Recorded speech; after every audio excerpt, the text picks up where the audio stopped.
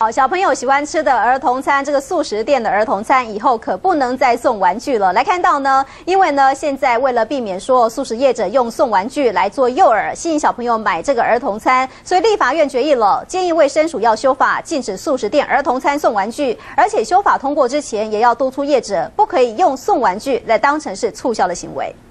你要吃什么？没有儿童餐。小朋友吵着要妈妈买儿童餐，全是因为皮卡丘玩具让他动尾聊。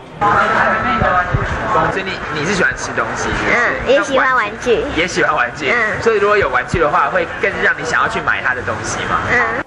就是因为素食店送玩具当儿童餐赠品，让小朋友们忍不住要爸妈掏钱，长期下来恐怕是导致他们肥胖原因之一。立委就在院会上通过决议，建议卫生署修法，禁止素食业者在儿童餐附赠玩具，而且修法完成前也要督促业者不以送玩具当做促销行为。啊，你喜欢那个玩具吗？喜欢啊。他如果以后都都不送的话呢？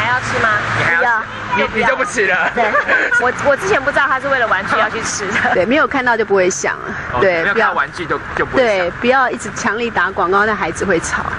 素食店禁送玩具，小朋友少了吃儿童餐的诱因。业者尴尬表示尊重政府决策，现在也增加许多蔬果提供消费者选择。只是要怎么不借着送玩具吸引小朋友目光，业者还要再想想。就是李世健、李教育台北采访报道。